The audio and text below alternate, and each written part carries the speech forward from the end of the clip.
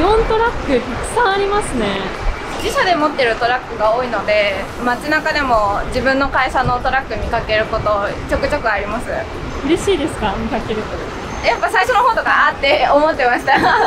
最近もう見慣れちゃってるとこはあるんですけど。ちなみにギオンさんって何の会社なんですか？物流の会社で大体従業員が5000人くらいで拠点数が75くらいの規模です。基本は B2B で会社間でやることが多いんですけど最近はあのネットスーパーとか EC とかで B2C の事業も始めたりしてます。何されてるんですか？今日日雇いで来ていただく派遣の方がちゃんと全員応募が入ってるかとあと経験者の人なのかとかちょっとそのあたりの確認をしてます。そしたらおはようございます。おはようございます。で本日、えっと、出荷が自動が3400の平置きが2200です。たら今日も一日お願いします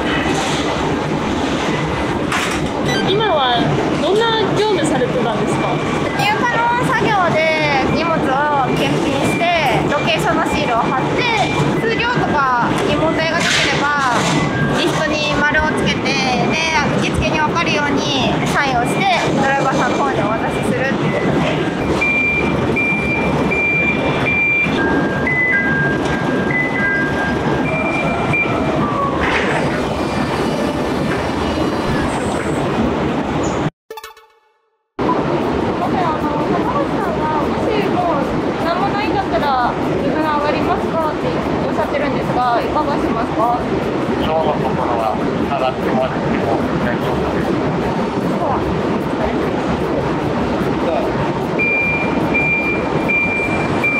何されてたんですかこれがあの6時から11時で入荷専門で来ていただいてるんですけど定時前なんですけどもう仕事がなくなっちゃったんで今日のところは上がってもらうかどうかっていうのをちょっと話し合ってて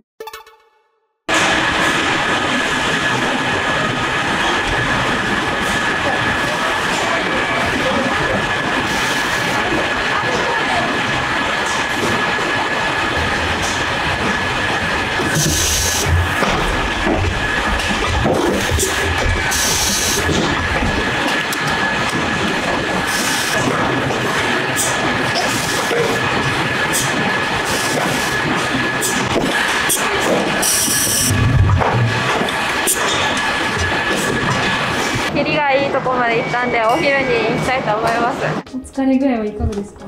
気持ちちょっと高いですね。やっぱ緊張しちゃってるからか。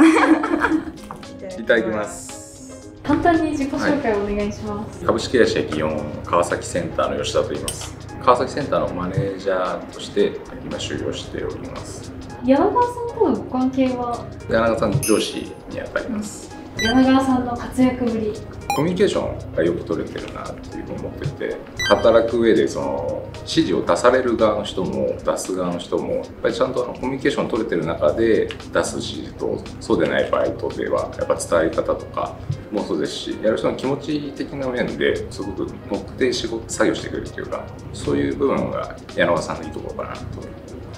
思ってます。この点に関しては入った頃なるべく気にかけて頑張ろうって思ってたところなのでそう言ってもらえるとすごい嬉しいですね。いかがでしょう？か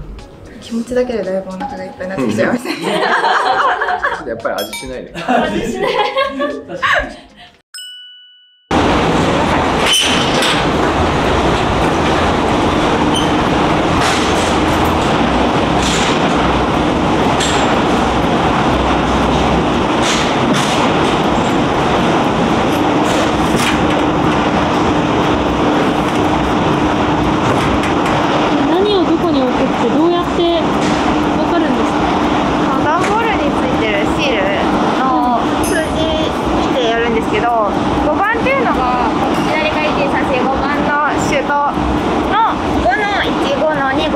っていう形であるので奥の方から順番に1台目2台目っていう形に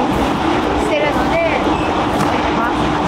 アイスでちょっとの切り替えのタイミングが結構前倒しで作業しないと流れてくるもの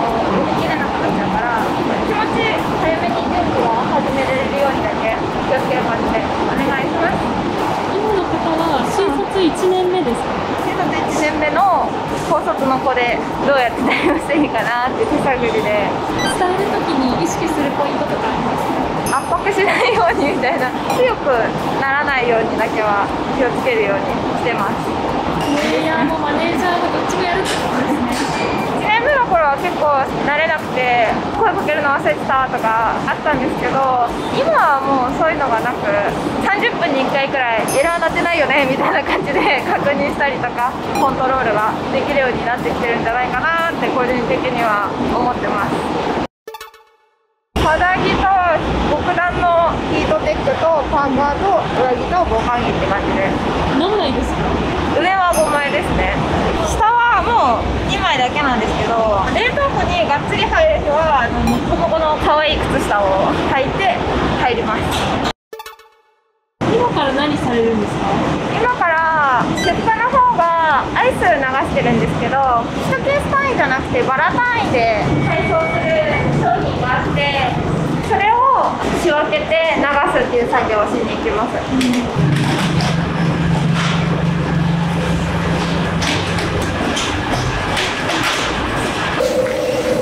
中の方うわーどうしても夏すごいんですよねそれのせいでエラーが出たりとか大丈夫ですか運送業者さんにお願いするものになるんでケース数が少ないちょっとした作業になるんですけどリストに書いてあるロケーションと商品名と日付と数量ここを合わせてピックする形になりますはい